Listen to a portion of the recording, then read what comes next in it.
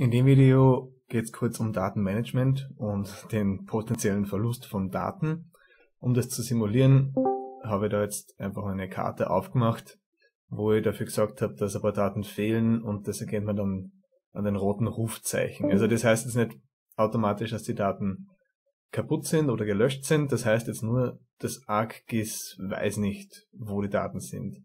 Ähm, ihr wisst ja hoffentlich, eh, die Karte hat ja eigentlich nur die Verknüpfung zu den Geodaten und die Darstellung der Geodaten, aber die eigentlichen Daten liegen ja woanders rum.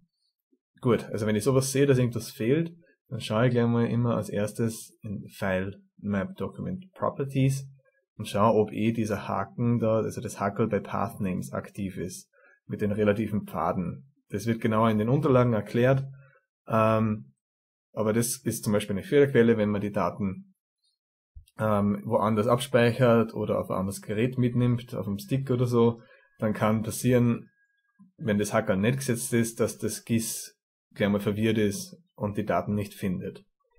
Ähm, genau, also das haben wir aber gesetzt. Ähm, allgemein sei, gesagt, ihr seid für die Daten verantwortlich. Also wenn ihr durch irgendwelche Kopiervorgänge oder so vergesst, Daten mitzukopieren, dann können wir dann euch auch nicht mehr viel helfen, leider. Also wenn die Daten weg sind, sind sie weg.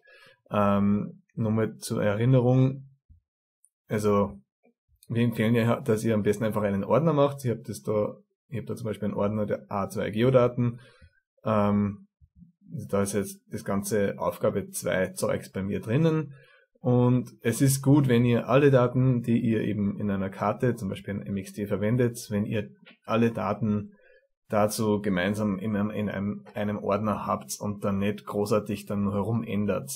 Ähm, wenn ihr zum Beispiel einen Geodatenordner habt und ihr ändert später den Namen von dem Ordner, äh, das reicht schon, damit das, das GIS verwirrt ist. Also macht's, überlegt euch, bevor ihr arbeitet, eine Struktur und ändert nicht viel herum. Ähm, was ich da jetzt gerade habe, ähm, ich habe einfach meine Geodatenbank, wo in der meine Daten liegen, habe ich im, umbenannt, einfach im, im Microsoft Explorer, habe ich einfach da falsch dran geschrieben, äh, die Karte nochmal geöffnet und jetzt eben kennt sie das GIS schon immer aus. Es, es glaubt, man kann das normalerweise nachsehen. Ähm, und das Source, es glaubt nämlich, die Daten liegen da in diesem Pfad und dann in der Geodatenbank Aufgabe 2 da ich der jetzt einfach so, ohne es GIS zu warnen, da der Datenbank einen anderen Namen gegeben habe, kennt es sich jetzt natürlich nicht mehr aus.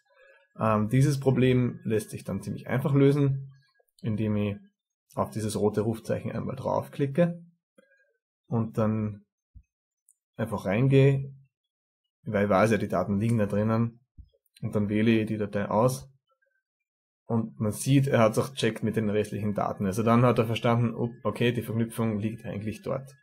Und so ist das Problem eigentlich schon gelöst. Ähm, ja, wie gesagt, dafür müssen die Daten aber da sein. Wenn die Daten nicht da sind, müsst ihr euch vorher überlegen, wo könnten die Daten sein und sie einfach in einen anderen Ort geben, wo ihr sie ja wieder findet. Ähm, wenn ihr euch zum Beispiel nicht sicher seid, was in einer Geodatenbank drinnen ist, weil die Geodatenbank in Windows schaut ja so aus und da kann man eigentlich nicht wirklich reingehen, also schaut halt irgendwie komisch aus, das bringt einem jetzt nicht viel.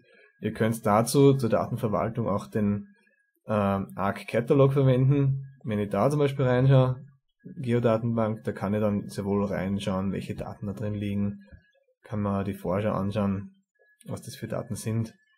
Also da kann ich sicher gehen, ob die Daten überhaupt da sind oder nicht. Also wenn ihr zum Beispiel digitalisiert habt und oder und zum Beispiel nicht gespeichert habt, ähm, dann würde man das da auch sehen. Also dann könnte man schauen, okay, habe ich da überhaupt Daten drinnen in meinem Shapefile.